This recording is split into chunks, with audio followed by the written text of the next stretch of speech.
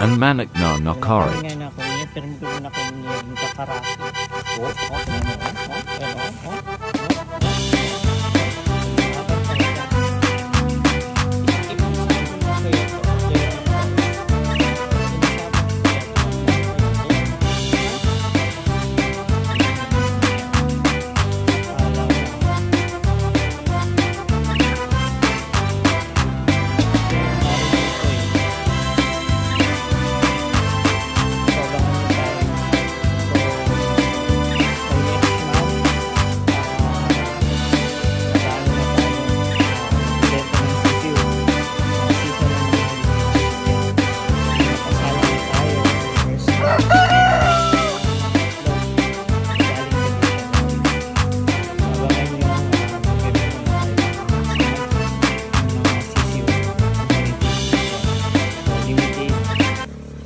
limited pa lang siya kasi hindi pa naman lahat naging good dito pero at least uh, paunti-unti uh, dadami na rin yan siya.